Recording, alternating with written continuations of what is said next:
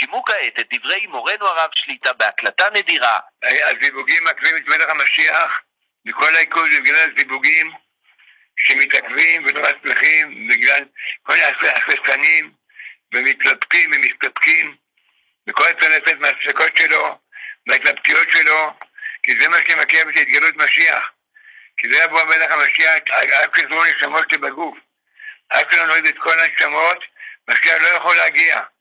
וכל הרווקים והרווקות חייבים עוד היום לשלוח כל אחד באלף שקל, וגם כל אחד ישלח אלף שקל לבת זוגו או בן זוגו, שאז זה אלפיים, שהתפילות תתקבלנה, שכל התפילות בישראל בישראל חייבות להתקבל, שמשיח לא יכול להגיע עד שלא יאכלו כל נשמות שבגוף. יש מיליארדים נשמות שצריכים עוד לרדת לפני ביאת משיח.